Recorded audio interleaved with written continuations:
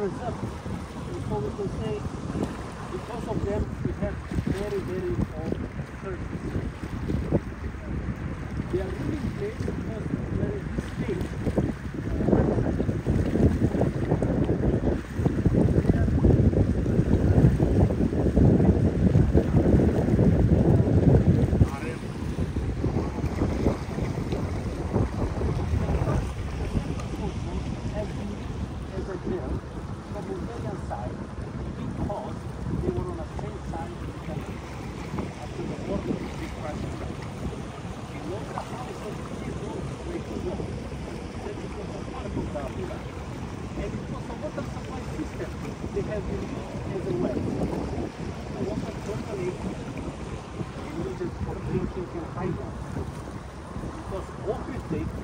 now this water is drinkable. 80% of the water is a spring water.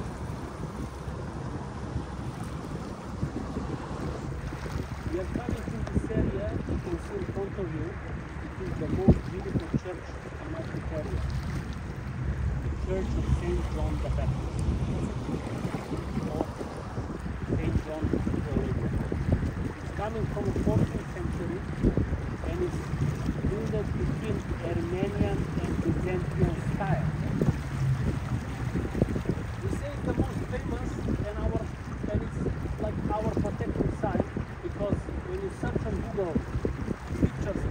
first is coming our black church and after that the city.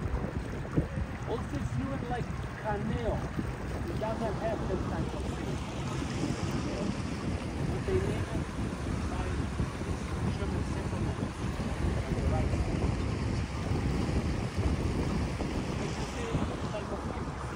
the you they have been living just from fishing in the lake.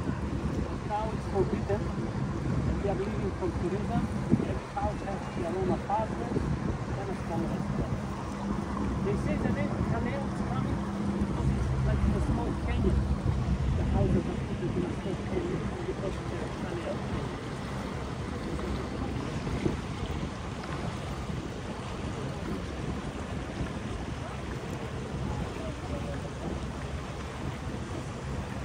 Ohrid Lake is one of the oldest in the world. It's actually 1.5 million years old. And it's on a solid rock with Lake Baikal, which is in Russia, Tanganyika in South in uh, Africa, Titicaca in South America, and Ohrid Lake. These are four oldest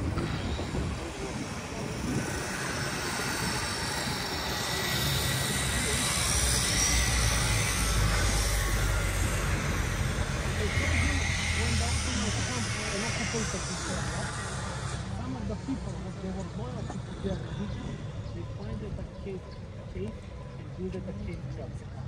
One of the cave churches is behind this big rock.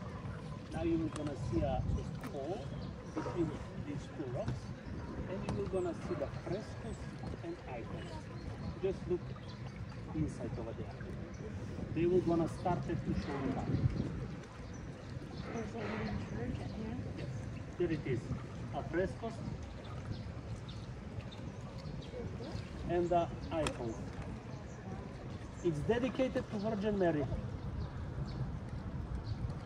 So they're inside. 14th and 15th century also is the period of starting the Ottoman Empire here, and then is the period for living isolated escape route. Just finding uh, these type of places and building the churches because they feel that they are more closer to the God, far away from civilization, staying in one place, just to uh, drink some water, eat some bread, and give the life to the God.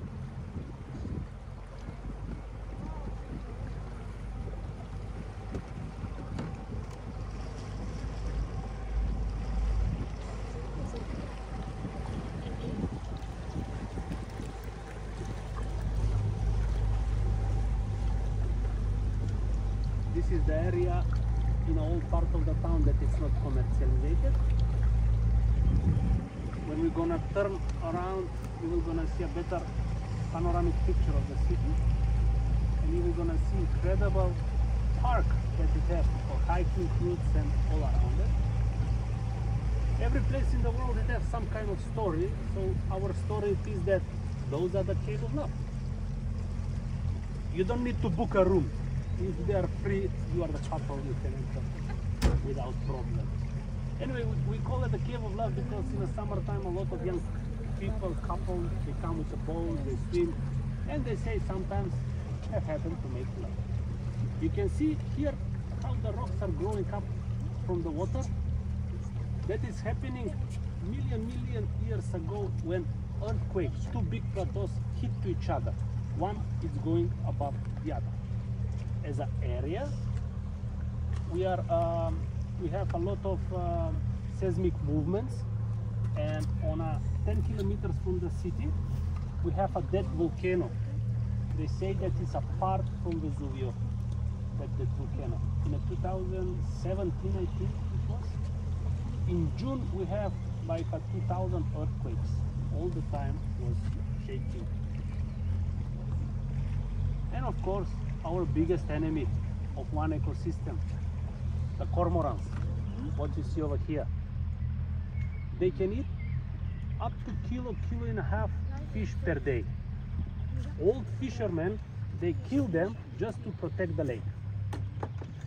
And if you turn behind that rock over there, you can see that it has a shape of a lion. Yes?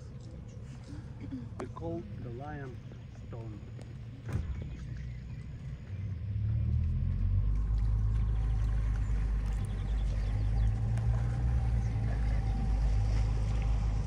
Leo. In German, Leo? Lion, ¿eh? Leo. This area we call Labino. It's like a private area for swimming or private beach. And believe or not, it's most visited from the tourists. Yes. Because everybody's seen commercial things like restaurants by the beach, you know, and everything. But for everyone, it's missing the true nature. And actually, this place is giving that. And of course, over there it is the west, and you have the best sun, uh, sunset of the day. So they are going to the supermarket, take some drinks, some food, and enjoy all day long. If you look up there, you can see that it has a part of a wall, what is coming. That is actually a part from a four kilometer wall that it was all around this city. Or I can say it was the uh, first defensive wall of the Samuel Fortress. Sorry,